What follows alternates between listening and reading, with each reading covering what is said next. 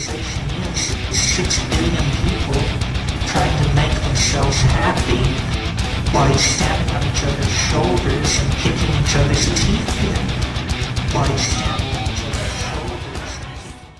It is Thursday, February 18th, 9:31 a.m. We're going to read chapter 10 of part 2 of Liber Aba, The Pantacle.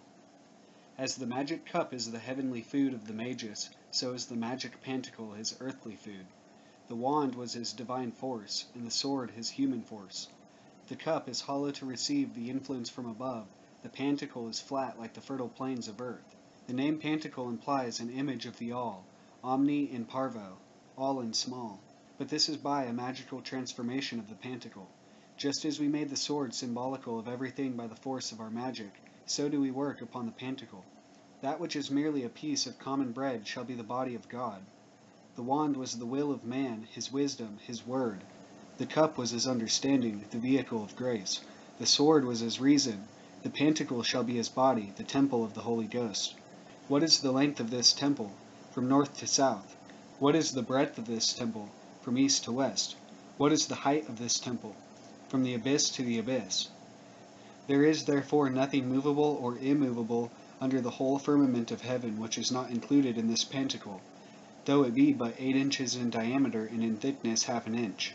Liber A vel armorum sub figura 412, page 666. Fire is not matter at all. Water is a combination of elements. Air almost entirely a mixture of elements. Earth contains all, both in admixture and in combination. So must it be with this pentacle, the symbol of earth. And as this pentacle is made of pure wax, do not forget that everything that lives is holy. All phenomena are sacraments. Every fact and even every falsehood must enter into the pentacle. It is the great storehouse from which the magician draws. In the brown cakes of corn we shall taste the food of the world, and be strong. When speaking of the cup, it was shown how every fact must be made significant, how every stone must have its proper place in the mosaic. Woe were it were one stone misplaced, but that mosaic cannot be wrought at all, well or ill, unless every stone be there. These stones are the simple impressions or experiences, not one may be foregone. Do not refuse anything merely because you know that it is the cup of poison offered by your enemy. Drink it with confidence, it is he that will fall dead. How can I give Cambodian art its proper place in art if I have never heard of Cambodia? How can the geologist estimate the age of what lies beneath the chalk unless we have a piece of knowledge totally unconnected with geology, the life history of the animals of whom that chalk is the remains? This, then, is the very great difficulty for the magician. He cannot possibly have all experience, and though he may console himself philosophically with the reflection that the universe is coterminous with such experience as he has, he will find it to grow at such a pace during the early years of his life that he may almost be tempted to believe in the possibility of experiences beyond his own. And from a practical standpoint, he will seem to be confronted with so many avenues of knowledge that he will be bewildered which to choose. The ass hesitated between two thistles. How much more that greater ass, that incomparably greater ass, between two thousand? Fortunately, it does not matter very much, but he should at least choose those branches of knowledge which abut directly upon universal problems. He should choose not one but several, and these should be as diverse as possible in nature. It is important that he should strive to excel in some sport, and that that sport should be the one best calculated to keep his body in health. He should have a thorough grounding in classics, mathematics, and science, and enough general knowledge of modern languages and of the shifts of life to enable him to travel in any part of the world with ease and security. History and geography he can pick up as he wants them, and what should interest him most in any subject is its links with some other subject, so that his pantacle may not lack what painters call composition. He will find that, however good his memory may be, ten thousand impressions enter his mind for every one that it is able to retain even for a day, and the excellence of a memory lies in the wisdom of its selection. The best memories so select and judge that practically nothing is retained which has not some coherence with the general plan of the mind. We have avoided dealing with the pantacle as the paten of the sacrament, though special instructions about it are given in Liber Legis. It is composed of meal, honey, wine, holy oil, and blood. All pantacles will contain the ultimate conceptions of the circle and the cross, though some will prefer to replace the cross by a point or by a tau or by a triangle. The vesica piscis is sometimes used instead of the circle, or the circle may be glyphed as a serpent. Time and space and the idea of causality are sometimes represented. So also are the three stages in the history of philosophy, in which the three objects of the study were successively nature, God, and man. The duality of consciousness is also sometimes represented, and the tree of life itself may be figured therein, or the categories. An emblem of the great work should be added, but the pentacle should be imperfect unless each idea is contrasted in a balanced manner with its opposite, and unless there is a necessary connection between each pair of ideas and every other pair. The neophyte will perhaps do well to make the first sketches of his pentacle very large and complex, subsequently simplifying not so much by exclusion as by combination, just as a zoologist beginning with the four great apes and man combines all in the single word primate. It is not wise to simplify too far, since the ultimate hieroglyphic must be an infinite. The ultimate resolution not having been performed, its symbol must not be portrayed. If any person were to gain access to VVVVV, the motto of the chief of the AA, the light of the world himself, and ask him to discourse upon any subject, there is little doubt that he could only comply by an unbroken silence, and even that might not be wholly satisfactory, since the Tao Te Ching says that the Tao cannot be declared either by silence or by speech. In this preliminary task of collecting materials, the idea of the ego is not of such great moment. All impressions, or Sanskrit vritti, the modifications of the mind that manifests objects, are phases of the non-ego, and the ego serves merely as a receptacle. In fact, to the well-regulated mind, there is no question but that the impressions are real, and that the mind, if not a tabula rasa, is only not so because of the tendencies, the pali samkara, predisposition from past impressions, one of the skandhas, or innate ideas, which prevent some ideas from being received as readily as others. These tendencies must be combated. Distasteful facts should be insisted upon until the ego is perfectly indifferent to the nature of its food.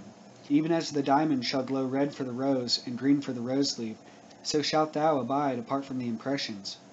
This great task of separating the self from the impressions or vrittis is one of the many meanings of the aphorism salve, corresponding to the coagula implied in samadhi, and this pentacle therefore represents all that we are, the resultant of all that we had a tendency to be. In the Dhammapada we read, all that we are from mind results. On mind is founded, built of mind. Who acts or speaks with evil thought, him doth pain follow sure and blind. So the ox plants his foot, and so the car wheel follows hard behind. All that we are from mind results. On mind is founded, built on mind. Who acts or speaks with righteous thought, him happiness doth surely find. So failing not, the shadow falls, forever in its place assigned. The pentacle is then, in a sense, identical with the karma or kama of the magician. The karma of a man is his ledger.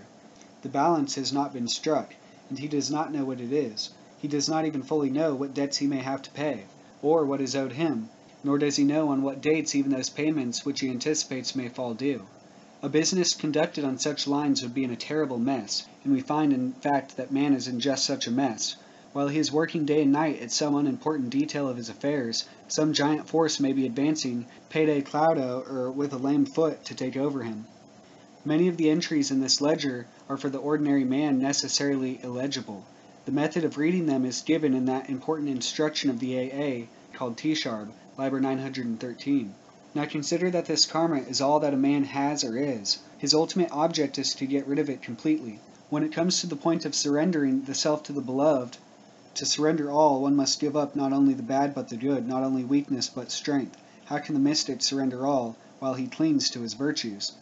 But in the beginning the magician is not that self, he is only the heap of refuse from which that self is to be built up.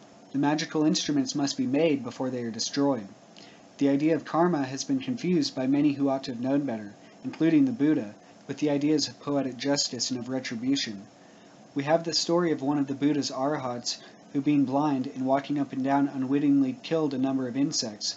The Buddhist regards the destruction of life as the most shocking crime.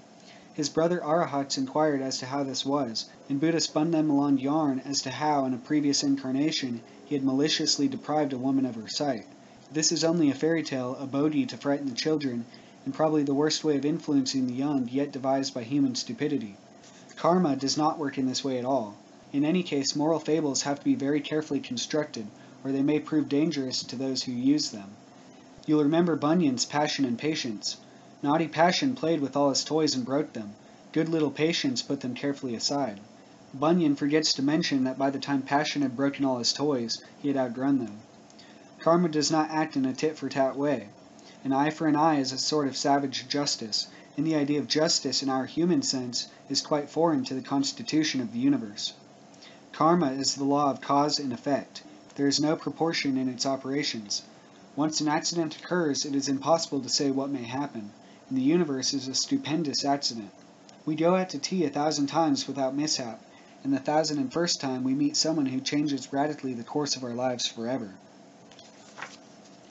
There is a sort of sense in which every impression that is made upon our minds is the resultant of all the forces of the past. No incident is so trifling that it has not in some way shaped one's disposition. But there is none of this crude retribution about it. One may kill a hundred thousand lice in one brief hour at the foot of the Baltoro Glacier, as Frater P. once did. It would be stupid to suppose, as the Theosophist inclines to suppose, that this action involves one in the doom of being killed by a louse a hundred thousand times. This ledger of karma is kept separate from the petty cash account, and in the respect of bulk, this petty cash account is very much bigger than the ledger. If we eat too much salmon, we get indigestion and perhaps nightmare. It is silly to suppose that a time will come when a salmon will eat us, and find us disagree. On the other hand, we are always being terribly punished for actions that are not faults at all. Even our virtues rouse insulted nature to revenge. Karma only grows by what it feeds on, and if karma is to be properly brought up, it requires a very careful diet. With the majority of people, their actions cancel each other out. No sooner is effort made than it is counterbalanced by idleness. Eros gives place to anteros. Not one man in a thousand makes even an apparent escape from the commonplace of animal life. Birth is sorrow, life is sorrow, sorrowful are old age, disease, and death, but resurrection is the greatest misery of all. Oh, what misery, birth incessantly, as Buddha said. One goes on from day to day with a little of this and a little of that. A few kind thoughts and a few unkind thoughts, nothing really gets done. Body and mind are changed, changed beyond recall by nightfall. But what meaning has any of this change? How few there are who can look back through the years and say that they have made advance in any definite direction. And in how few is that change, such as it is, a variable with intelligence and conscious volition? The dead weight of the original conditions under which we were born has counted for far more than all our striving.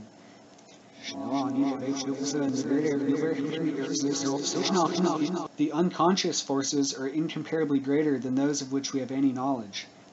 This is the solidity of our pantacle, the karma of our earth that whirls a man willy-nilly around her axis at the rate of a thousand miles an hour.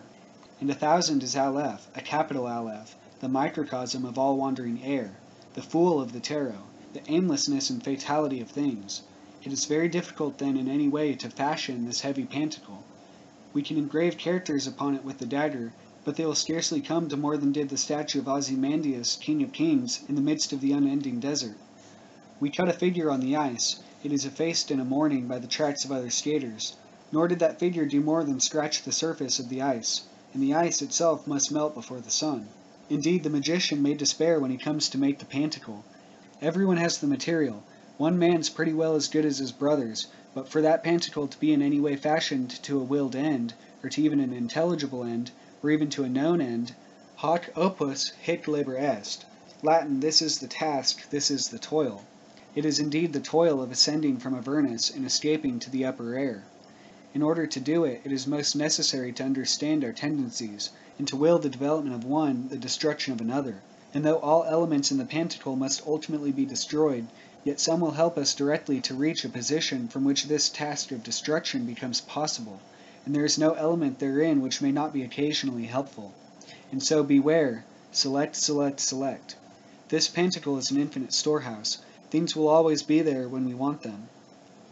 We may see to it occasionally that they are dusted and the moth kept out, but we shall usually be too busy to do much more. Remember that in traveling from the earth to the stars, one dare not be encumbered with too much heavy luggage. Nothing that is not a necessary part of the machine should enter into its composition. Now though this pantacle is composed only of shams, some shams somehow seem more false than others. The whole universe is an illusion, but it is an illusion difficult to get rid of. It is true compared with most things, but 99 out of every hundred impressions are false, even in relation to the things on their own plane. Such distinctions must be graven deeply upon the surface of the pantacle by the holy dagger. There is only one other of the elemental instruments to be considered, namely the lamp.